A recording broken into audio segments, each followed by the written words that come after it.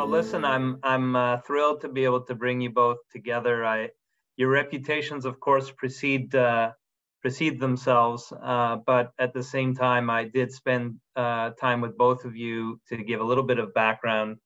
Uh, Irwin, uh, of course, as I mentioned, Deepak's work centers around fostering a more peaceful, just, sustainable, healthy, and joyful world. And uh, I do believe that there is much crossover in terms of what we are trying to achieve. And I agree with Deepak's proposition that peace will be created by those who are at peace with themselves. Uh, and one other thing that I would note is that Deepak is particularly interested in visiting Israel and, and doing his part to foster peace in the region. Um, but having said that, uh, you know, maybe I'll turn it over to you, Deepak, to give a little bit of background, and then then perhaps uh, Professor Cotler can chime in, and uh, I'll be I'll be somewhat of a fly in the wall, but also a participant. But just looking forward to uh, uh, the two of you uh, getting into it a little bit.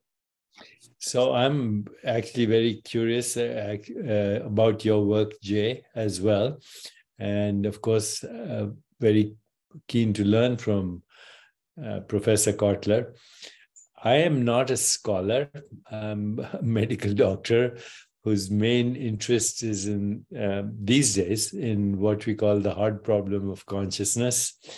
But uh, having, uh, you know, looked at the mind body relationship and consciousness as fundamental to every experience we have, including the experience that we call science, I have um, started working in small areas in my own little way on conflict resolution.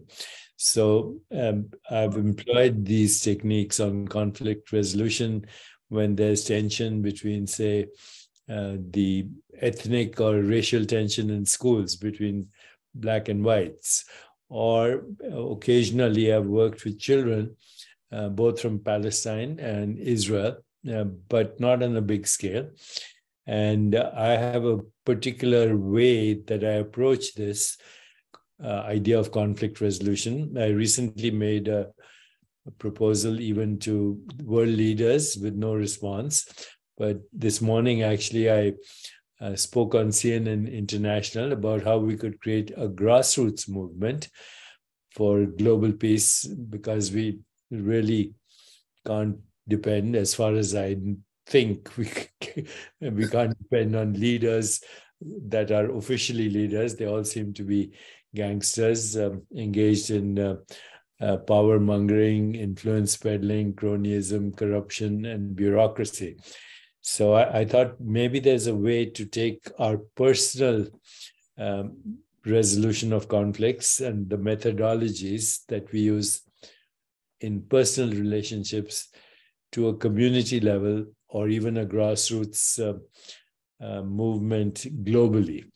And so I'll just share with you some of the things that we um, teach or I teach when I uh, work with communities or people engaged in uh, some kind of conflict or the other. The first thing that we explore is how can we be peaceful ourselves? How can we speak peace, create peace, be peace, and resolve conflicts in our own life? And in that area, I use nine principles. Number one, no matter who your adversary is or who you're in conflict with, uh, start with respect. If you don't respect them in your conversation, you lose them in the first minute. Number two, recognize that there's a perception of injustice on both sides. Otherwise, there wouldn't be conflict. Number three, uh, be able to forgive and be able to ask for forgiveness um, and expose your vulnerability. Number four, don't be belligerent. Number five, use the well known techniques of emotional intelligence, getting in touch with your own emotions, getting in touch with the other's emotions, and using non conflict, uh, non violent communication as uh, taught by many other people. What am I observing? What am I feeling? What do I need? How do we mutually fulfill our needs? So, uh, belligerence is replaced by um, emotional intelligence. Number five, um, don't uh, stereotype or use labels uh, because uh, you know that automatically creates separation. Um, then you know number seven is try not to prove the other person wrong. They'll never forgive you. And so understand that you just have different perspectives. Uh, number eight something like um, uh, recognize that there's fear on both sides. Number nine that um, um, also don't engage in ideological or religious uh, discussions because you never um, will agree anyway. So the focus is uh, what do we want? Um, and I think we want peace, we want prosperity, we want health, we want well being, and we want joy. Now, as I said, with small groups, I've been able to succeed in some of these uh, conflicts, whether they're ethnic or racial, but mostly with younger people and never with uh, politicians. Uh, that's my experience so far. And I want to learn uh, a little bit about your work, Jay, and how it relates to the work that uh, Professor Cotler is talking about. So over to you, Jay, and then to Professor Cotler. Well, thank you, uh, Deepak, and uh, I look forward to uh, collaborating with you on many, many projects in 2023. I'm, I'm certainly very inspired by your approach and, and your teachings. Um, well, as you know, I'm the chair of the board of the Raoul Wallenberg Center for Human Rights, which was established by Professor Cotler a number of years ago uh, after uh, he uh, had left uh, Parliament after being a member of Parliament uh, and Minister of Justice uh, at one point and Attorney General and had an illustrious career uh, in Parliament. And prior to that, um, and throughout his career, in, including during his parliamentary days, um, he's been an international uh, human rights champion representing political prisoners all around the world and uh, fighting for peace all around the world, uh, essentially. Um, so, uh, given my role as chair of the board of, of the Raoul Wallenberg Center, I thought it would be uh, apropos uh, that now that I've established a relationship with you, um, and I'm looking to do uh, much more work uh, to support your foundation and and and uh, your activities, that we combine forces somehow in the pursuit of uh, really the the areas that you wish to foster for our world, including most obviously justice and peace. Um, so that's kind of the perspective I come at it from. But you know that I have uh, a broader background, of course, as well in in business and uh, in in tech consulting and a number of other areas. Uh, but in terms of the human rights work that I do, I really uh, use uh, the, and and support the Raoul Wallenberg Center uh, for Human Rights as as a foundation for all of that. Over to you, Professor Cotler. Well, you know, I, I'd like to ask both of you to call me Irwin. I'd feel better. And that will allow me, if I may, to call uh, Professor Chopra Deepak and, and sure. One, um, one more thing. One more thing I would at add. the risk of being presumptive, but I just no, no. I think it's a good idea. That's one way to resolve conflicts is to be personal friends. Yes. Right. One more thing I would add, and and it and it relates to uh, my habit in calling Irwin uh, Professor Cotler is that uh, he was actually my professor uh, at McGill Law School many many years ago, and and that's that's sort of how we met, and we've we've become dear friends uh, ever since, and and have been supportive of one another for uh, for decades now. Thanks, Jay. You know what, uh, Deepak, when I was listening to you, I was reminded of two things. One, an article you wrote in the uh, New York Times, I think about a little over uh, two years ago, uh, which, which, contained uh, points about how we could be peaceful interlocutors, which led into what I felt was uh, an approach to a grassroots a movement uh, for global peace. But I, I have to tell you that the thing that struck me when I uh, both read that article and heard you now, and uh, also some of your uh, webinars, as I, I mentioned, uh, that I saw with Jonathan and Marianne Williamson, what struck me was how it reflected and represented so much of the learning that I got from uh, my parents of, of, blessed memory, uh, which really accounts uh, for anything good that I've been able uh, to do in life for the that which is not good, I take full responsibility for. But it was my father who who taught me uh, at a very young age, when I was too young to understand the profundity of, of his uh, teachings, when he said to me that uh, the pursuit of justice, as he put it, and he used the Hebraic approach, tzedek, tzedek, tzedek, the pursuit of justice, as he put it, is equal to all the other commandments combined. He said, this must be your life's mission. And this is what you must teach onto your children.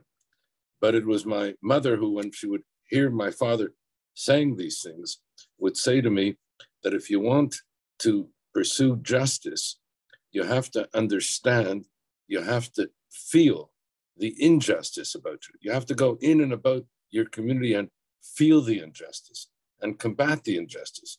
Otherwise, she said, the pursuit of justice will just be a kind of theoretical abstraction. So I, I suspect because of the early teachings of my parents, and I happen to have had good follow up education um, in high school and, and, and, university. One of my teachers in high school was a, a Canadian uh, poet who was in charge of all our uh, secular studies, including physics and chemistry, which means to this day I've learned very little about physics and chemistry, but a good deal about uh, poetry, uh, the humanities, and the like. And he uh, reminded me in his uh, both his visage and in his speaking, like the prophet Jeremiah. And I know you've made reference to the prophets in, in some of your exchanges. So he had a big influence on me, and he also taught Leonard Cohen, our Canadian uh, poet, songwriter, and the like, and brought us two together at a young age and referred to both of us as his spiritual children. So there was a strong bond there, not only in school, but outside of it. And then I suspect because of these teachings, as a student, I got involved in the two great human rights struggles of the second half of the 20th century the struggle against apartheid and the struggle for uh, human rights in the then former Soviet Union. And that led me, when I became a, to be a law professor, uh, to be involved in the two political prisoners that represented uh, these two struggles Nelson Mandela in South Africa and Anatoly Sharansky, as he then was in the former Soviet Union. And one of the incredible things about that is the intersection of those two uh, cases and causes. Uh, very briefly, I was uh, arrested and uh, detained and expelled from the Soviet Union in 1979. I had gone there because the Canadian government had arranged for me to appear in a Soviet court on behalf of uh, Sharansky. But before that could take place, as I said, I was arrested and uh, expelled. I won't go into that other than to say in 1981, I was invited to South Africa as a guest of the anti-apartheid uh, movement. And there in South Africa, Sharansky was uh, well known. Um, he was almost as a kind of a cause celeb because South Africa had this anti-communist idiom and they seized on Sharansky as being a kind of role model uh, for them to uh, promote. And so when I was asked to speak about the Sharansky case, I said, you know, I'd like to speak about the Sharansky case, but I'd, I'd rather speak about uh, Nelson Mandela uh, because I'm here in South Africa. I said, but I don't want to get anybody in trouble. I know that he's a banned person. Any reference uh, to him is illegal. But there were some courageous students then um, at Witwatersrand University, Wits University for short, and they said, no, no, let, let's do that. And uh, uh, I spoke on the topic if uh, Sharansky, why not Mandela? And uh, at the end of the talk, when my wife came up to speak to me, as she then describes it, I wasn't there because I got arrested in in, in South Africa. And uh, while being, and while I, this is how the two cases intersect, and while I uh, was being detained, the prison warden came to me and said, uh, "Do you know the foreign minister, Pik Botha?" And I said, "No." And he said, "Well, he's asked us uh, to bring you to him." And so I went to uh, his office, and as I walked in, he looked at me and pointed to a big portrait on the wall, and he said, "You know who that is, don't you?" I said, "Yes, that's Anatoly Sharansky." He said, "Right."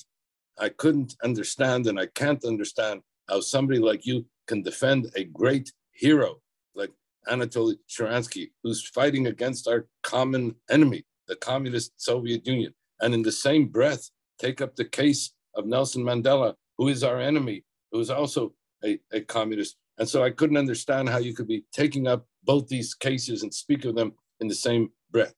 And I said to him, I said, Mr. Botha, uh, both Sharansky and Mandela are fighting for the same thing. I said, they're both fighting for freedom.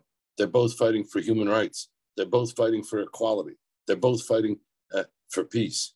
And so, while the Soviet Union may be a major human rights violator, I said, South Africa is the only post World War II country that has institutionalized racism as a matter of law.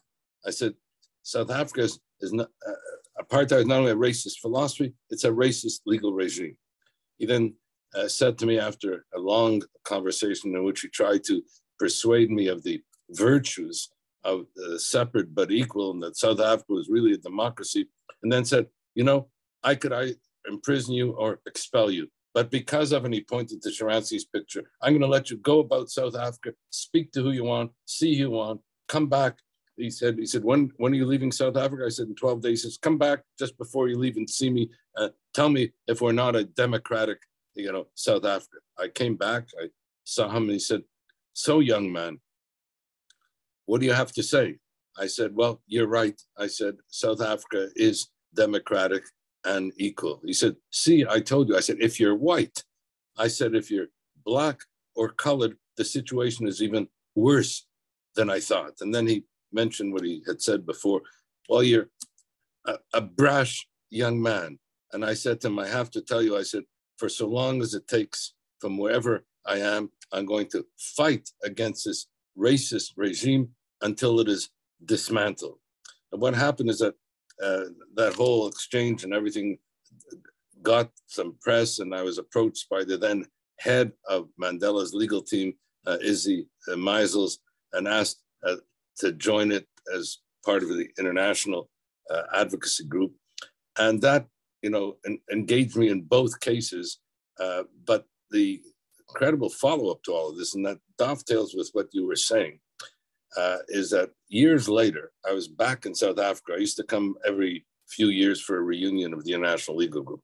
And I thought I, I'd look up Pik Botha and just, you know, uh, recall our I called him and it turned out that he was in a senior citizens home. And then he said to me something very fascinating and something in a certain sense very hopeful. He said, You know, he said, uh, you have not known what has happened to me. He said, I've been following you. He said, You were a brash young man, repeated the same thing. Uh, but then said, But you might not know about me. He said, Well, let me tell you. He said, I became uh, the first uh, minister in Mandela's government. He said, I became the first minister to speak out against apartheid. And he said, and I became a member of the African National Congress. And so it indicated to me that uh, people can change. And if they're engaged uh, properly, I can't say, Deepak, that I followed, you know, your nine steps in my exchanges with him. But I mean, uh, it was encouraging to see how he had evolved. But then to get back with this, I'll close. Uh, my mother was very much committed to peace. She was the embodiment of your teachings, if I can put it that way. She was a person of incredible inner peace. I never heard her say a bad word about anybody in my life. I can say that. I never heard her say a bad word about anybody. Sometimes some people were surprised that she would find the good even in those that, you know, they could not see the good in. And one of the things that she was very, very passionate about, there were two things. One was the civil rights movement in the US. And so when I was a, did graduate work there, uh, I got involved in the uh, civil rights uh, movement and in the peace movement. And I suspect that's why I became at McGill at the time. We had the CUCND, Combined Universities Campaign for Nuclear Disarmament. So I got involved in that. That my connection with Jonathan Granoff has gone on uh, on that on that issue, and Jay connected us as, as well in, in that regard. But the main thing for her, her real passion, her passion throughout her life was for an Israeli Arab Palestinian peace. And I suspect that uh, this was partly responsible for the fact that as a law professor in the summers of 75, 76, 77, 78, I went to live and work in the Arab countries. I, the word Arab is too generic. Uh, I was in Egypt, uh, Jordan, uh, Syria, Palestinian territories, and I ended up uh, in Israel. And I have to say that uh, that experience, with this I close, had a transformative impact on, on my life, uh, as I'll tell you. In 19, summer of 75 and in summer of 76, I began my visits with the first month being at the Institute for Political and Peace Studies at Al Ahram in, in Cairo. And the person who was heading it up at the time was Boutros, Boutros Ghali, then went on to become the foreign minister to Sadat and then Secretary General of the UN. When I came back in 1977, uh, again, I was started my trip in, in Cairo. When I was in Cairo, uh, the Likud government got elected in Israel with Menachem Begin as prime minister. And Boutros Boutros Ghali, with whom I had become friendly in 75 and 76, knowing that I ended up my trip to the Arab countries uh, in Israel, then uh, asked me to meet with President Sadat. We had uh, several uh, meetings, and President Sadat surprised me one day when he asked me if I would deliver a message to then Prime Minister uh, Begin. And I said to him, Well, President Sadat, as I mentioned to you, I, I don't know uh, Prime Minister Begin. He said, I know you said you don't know him, but I know that you end up your trips, as Boutros, Boutros Ghali has told me, in Israel.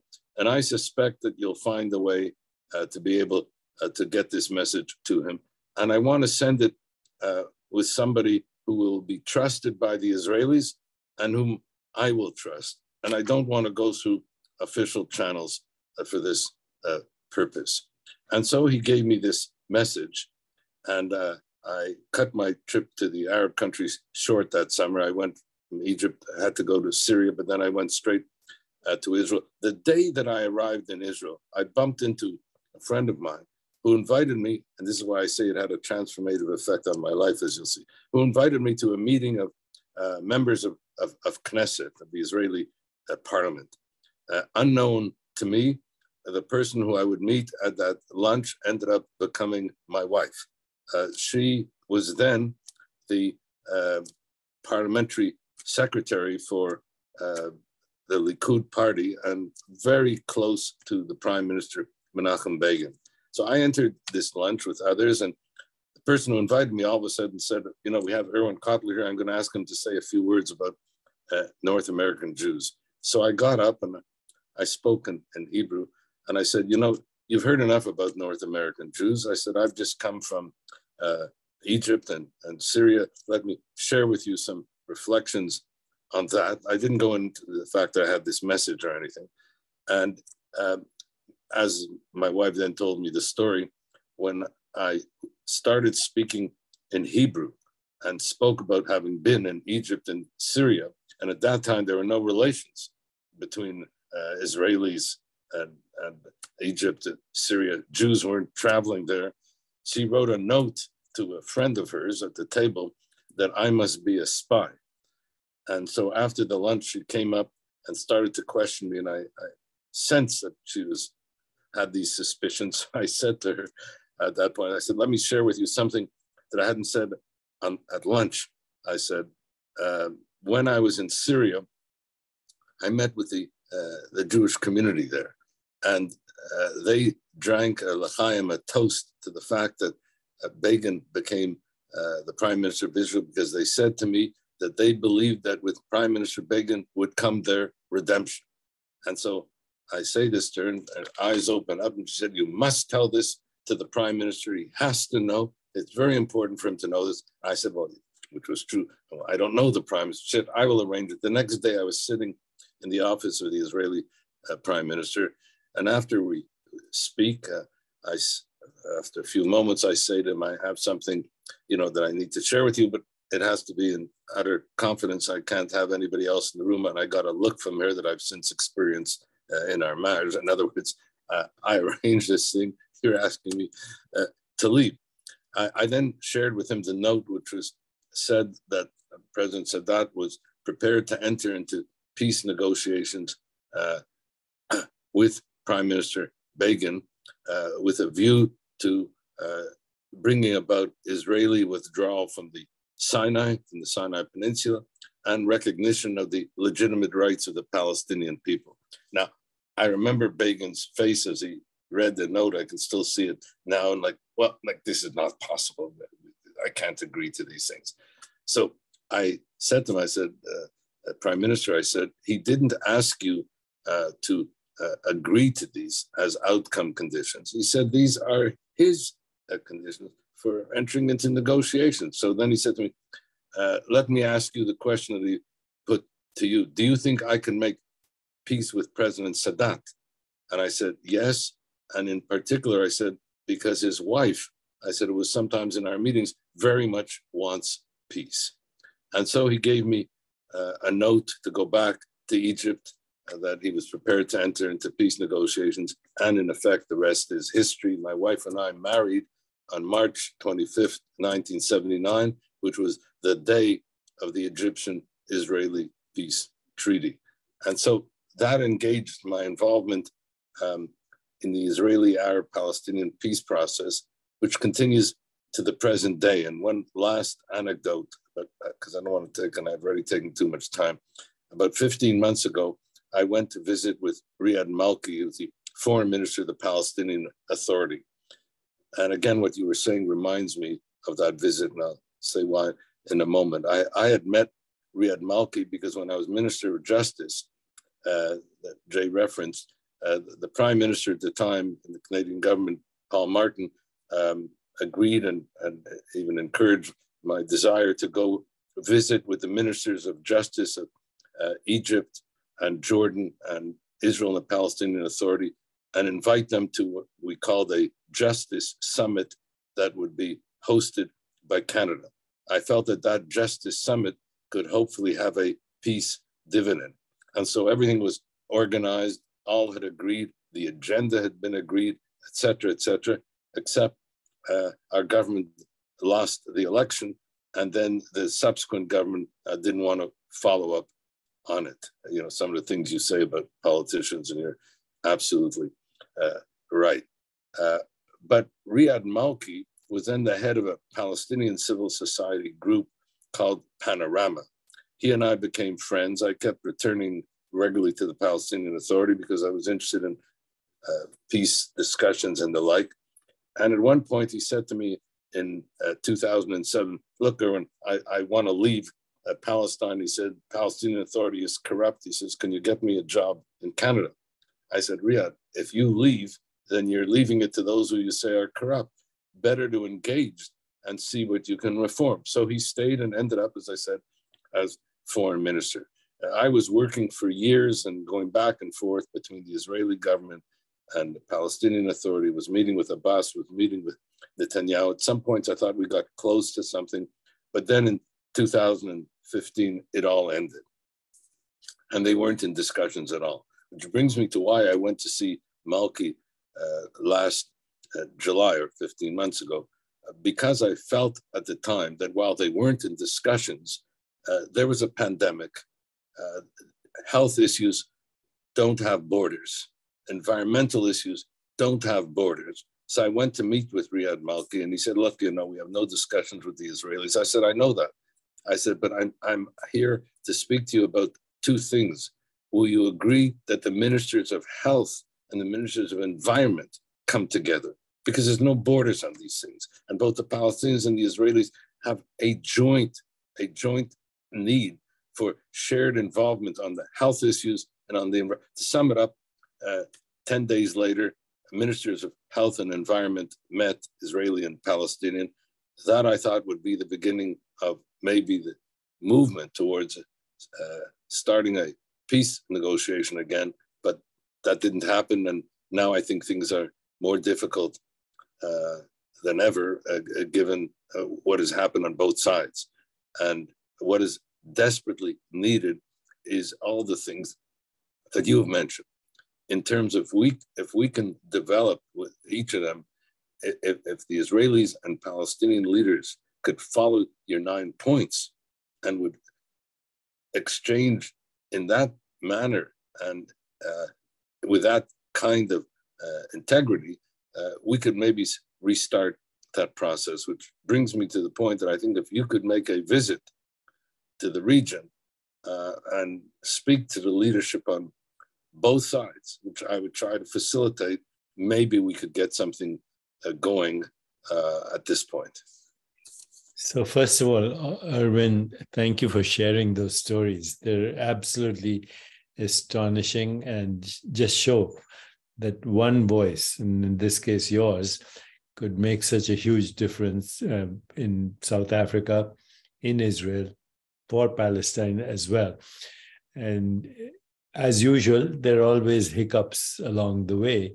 But the fact that you've persisted all these years uh, in the cause of justice of all kinds um, and freedom, um, and that it has worked, shows that there is hope. So I have a couple of questions right now. You know, when you look at the world right now, what's happening in Ukraine, what's happening in Russia, what's happening in Brazil, what's happening even in some of the uh, right-wing fundamentalism and uh, and uh, and almost Nazism emerging again in uh, in Europe.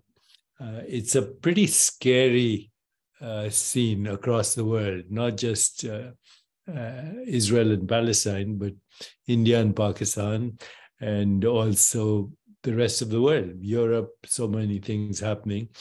Uh, I feel that there's an urgency for a solution. I would love to uh, come to Israel with you and speak to anyone, uh, but we need to combine it with some kind of action and some kind of um, goal at the end, you know, that's measurable, something that we can stretch really uh, into the future beyond what we think we can achieve. Otherwise, what's the point? But something that's measurable, something that we all agree on, something that we can keep a record of, and also something that has some kind of time limitation to it. Otherwise, we'll just keep talking. In other words, create some smart goals. But at the same time, perhaps, as we speak to leaders, um, if that happens, why not hold a couple of uh, public forums, you know, like what we call um, for the general public? Last time I was in Israel, uh, in Tel Aviv, uh, I spoke to the public about something called the Soul of Leadership. And uh, we had 3,000 people in the audience. So I know there's an appetite in the general public. I know there um, uh, I have been to Israel now about four times, uh, but never in any official capacity.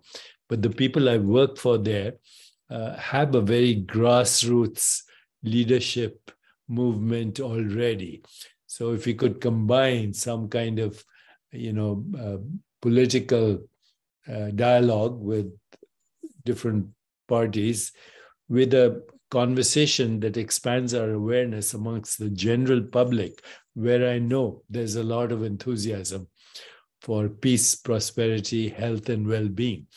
And I think it's very simple. You know, if you ask general public, do you want peace? They say yes.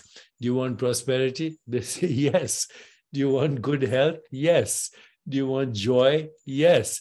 Do you want your children to go to school? Yes do you want you know your future generations to live in harmony yes so then why don't we do it I mean, you know, if that we have the we have the imagination and the creativity to split the bomb, we have the imagination and creativity to uh, explore interstellar space, to land land people on the moon, to develop artificial intelligence and the new metaverse. And we haven't used that same imagination to create a more peaceful, just, sustainable, healthier, and joyful world. There's something totally insane about that. And, you know, if we don't accept that this insanity, which it covers everything from conflict to mechanized weapons to cyber hacking to nuclear weapons to extinction of species to poison in the food chain. It's a total mess right now. We're sleepwalking to extinction. And it's time that we created this conversation as a very urgent way. Otherwise, you know, nature might come to the conclusion that the human experiment was interesting evolutionary experiment, but it didn't work. Well, you know, when you talk about uh, sleepwalking to to extinction, and was also your metaphor with regard to humans and ants, and uh, what is happening in, that regard. Uh, I, I, just want to say you mentioned also the Russia, you, uh, Ukraine. I, I, mean, I believe that we are a historical uh, inflection moment because of the uh, the resurgent global authoritarianism, the backsliding of democracies, the assault on human rights, and I see political prisoners as a, a looking glass into all that. So, uh, with regard to Russia and the Ukraine, um, we and uh, Raoul Wallenberg Center have been very much involved in uh, trying to uh, establish an independent uh, tribunal uh, for the crime of aggression in Ukraine because the present legal remedies don't allow for uh, that crime to be adjudicated. But that's, you know, uh, a, a, legal thing that will not advance us towards peace and the things that, and values that you were speaking about, uh, which are crucial. We, we are very much engaged in Raoul Wallenberg Center on, let's say, three um, what I would call case studies of this resurgent global authoritarianism. Uh,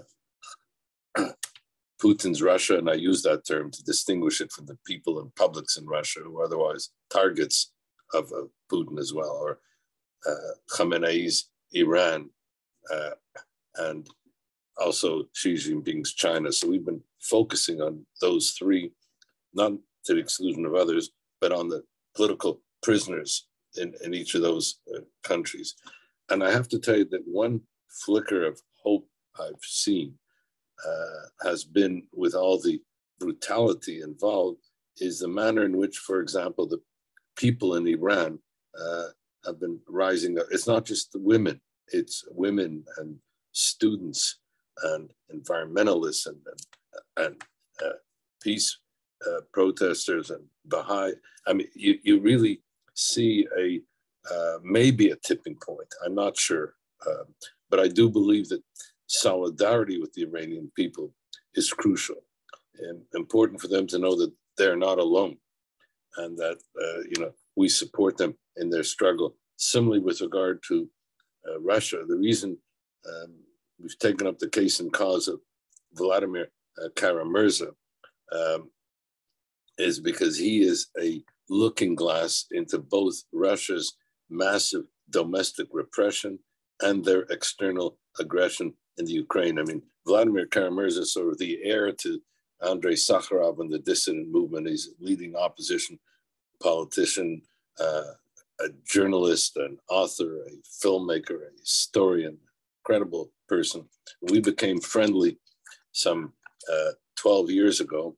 Uh, he came uh, to Canada when I tabled the first Magnitsky legislation, and he came with uh, Bill Browder and um, Boris Nemtsov, who was then the Russian Democratic Opposition leader. Fast forward, uh, Boris Nemtsov was assassinated outside the Kremlin in 2015. We then, I was then a member of parliament, convened the Foreign Affairs Committee to hold hearings about adopting Magnitsky legislation. Uh, Vladimir Kara-Murza was our principal witness, among others. He came, testified in favor of having such legislation, went back to Russia, was poisoned, almost died. 2017, um, having survived that, our Foreign Affairs Committee uh, reconvened, uh, again held hearings, which led to the adoption by Canada of Magnitsky legislation. He testified again, went back to Russia, was poisoned, and almost died again.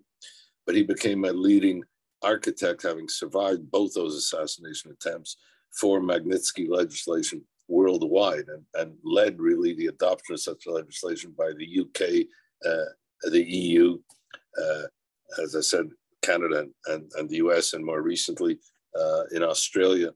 Um, and, and many of these places we, we testified together, but he's been the leader in he after those assassination attempts, he moved his family from Russia to Washington uh, so that they would be safer there while uh, he became a columnist for the Washington Post. But when Putin invaded Ukraine, he felt he had to be back with his people.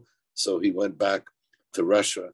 And not long after coming back to Russia, he was arrested first on a trumped up charge of disobeying the, the police when he was just in his car about to leave to the airport to fly back to Washington. Then on a charge of uh, uh, speaking about the war because Putin, having invaded Ukraine, also adopted a fake news law where you couldn't even speak about the war. And then more recently, um, charged with high treason. So it's, it, it, it, incredible. I mean, I've been tracking it. His case is very similar to the way Sharansky, same charges, same, uh, you know, falsified evidence, uh, etc. So we've taken up his case and cause as a kind of looking glass to both domestic uh, repression in, in Russia because there's been over 20,000 arbitrary detentions in Russia since the war began, along with what's happening in the Ukraine. So this has been a principal involvement of us in the Wallenberg uh, Center. And I have to tell you that I, I, I get courage from these political prisoners. Uh, they're the people who always inspired me. And, and in fact, you know, when I entered politics, I, I, I was a very, very reluctant MP. I mean, to, reluctant to go in, into politics. I was somewhat influenced, ironically enough, by two political prisoners. Both Sharansky and Mandela told me that sometimes you have to enter the political arena, as they both did, in order to affect change. Uh, but the thing that caused me to do it, I have to tell you, was and when I was interviewed as to why I went into politics, I said one word. And they said, What? I said, Rwanda. And they said, Rwanda. Why Rwanda? I said, Because I, I'll never forget.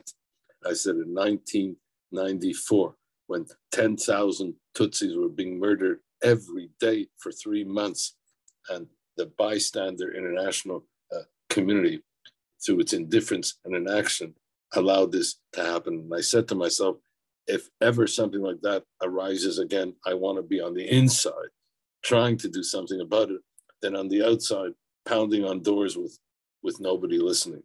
So that's why I went into parliament. But uh, if I made just a joke, because my son, who has a very cynical sense of humor and who speaks about political leaders similarly to the way uh, you do, uh, when although he doesn't have uh, your inner peace, he's just more cynical. Uh, so when I was running for parliament, a journalist called him up and said, "What do you think of your dad running for parliament?" So he answered as follows: was front page of the paper. He said, "I think my dad's crazy." He says, "What does he want to go to parliament? Nothing ever happens there. They don't do anything, and if anything, some of them become corrupt. And there's a Monica Lewinsky waiting for him around the corner." That was back in 1999 when I ran, and then typical sense of humor when I got elected six weeks later, at the risk of sounding self-serving, with 92% of the vote, the same journalist called me and said, well, what do you think of your dad now? He got 92% of the vote. And he said, Donald Duck running in this riding for the Liberals would have gotten 92% of the vote. My dad lost, that would have been a story. So he was quite uh, cynical. But I once tried to suggest to him, because he said, you know, maybe you should have stayed as a law professor, That I said, you know, I love being a law professor. I said that one difference, I said, is a law professor was an important, ongoing educational seminar.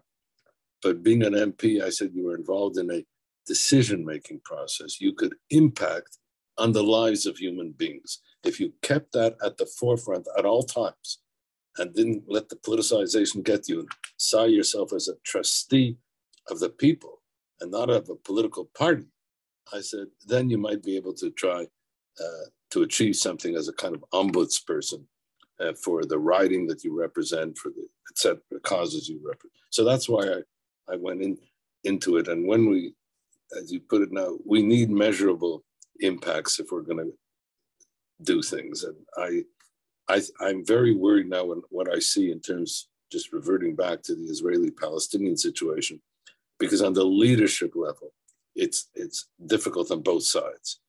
Uh, but what you mentioned in terms of a public forum, and what you spoke about about the soul of leadership, and that kind of uh, public forum, I think that may be necessary within each community and between communities. So, Irwin, again, every time I listen to you, it's so inspiring. And if there were enough parliamentarians, lawmakers with that kind of intention, I think we would see a different world. Um, is your son um, uh, the uh, uh, product of the same uh, you and your wife who introduced uh, you to uh, Begin? Well, we both we have four children. He's the youngest. we have three three girls.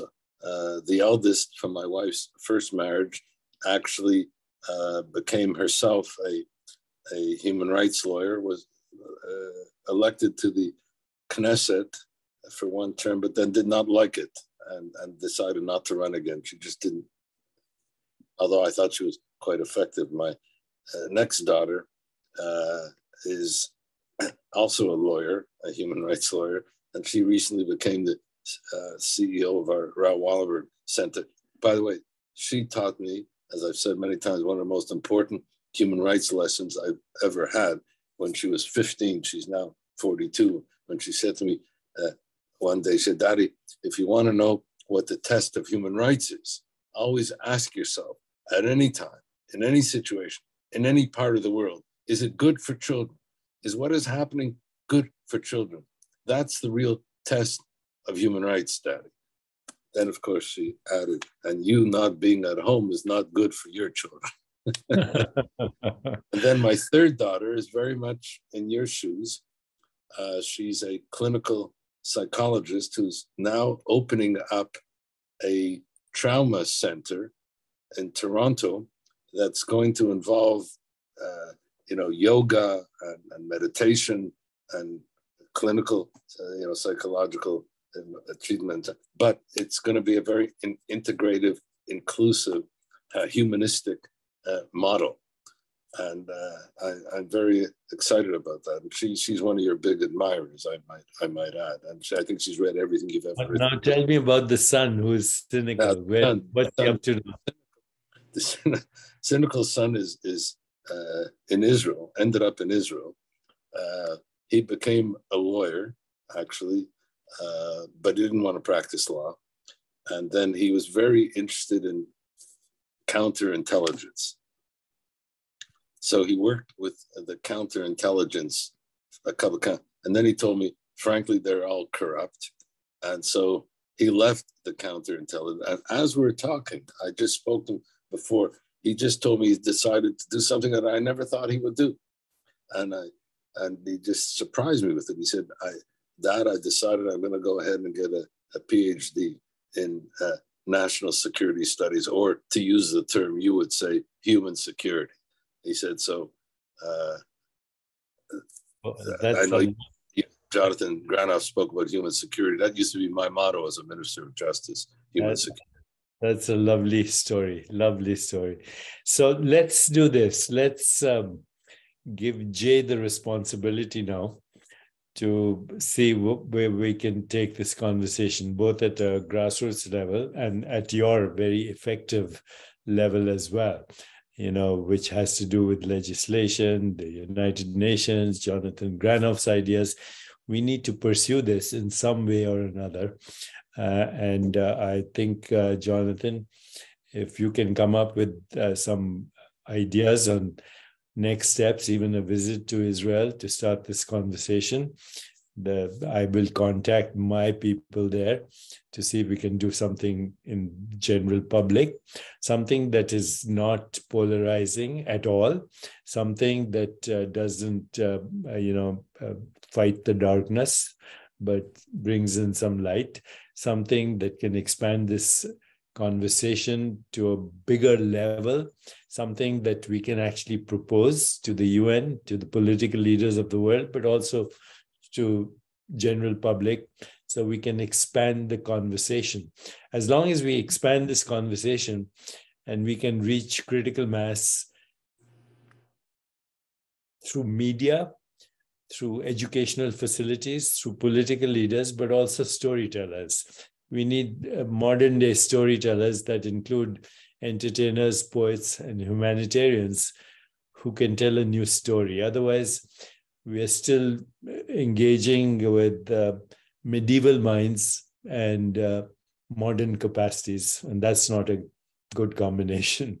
You know, to still have that medieval mindset and the capacities for destruction that we have now is is a dangerous uh, recipe.